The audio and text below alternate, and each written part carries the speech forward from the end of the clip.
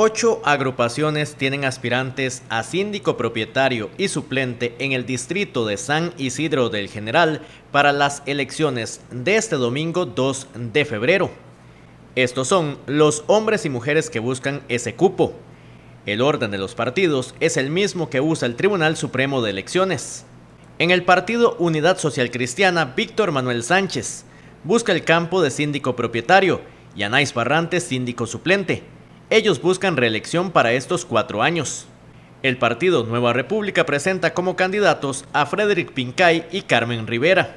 El partido Frente Amplio a José Michael Leiva y Guadalupe Barrantes. El partido Republicano Social Cristiano presenta como candidatos a Eugenio Bermúdez y Daniela Venegas. El partido Liberación Nacional a Manuel Caballero y a Sally Martínez.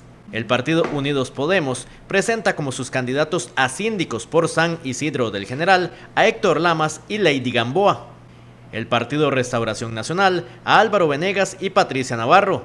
Y el partido Nuestro Pueblo a Ronald Araya y Estefanía Cuña.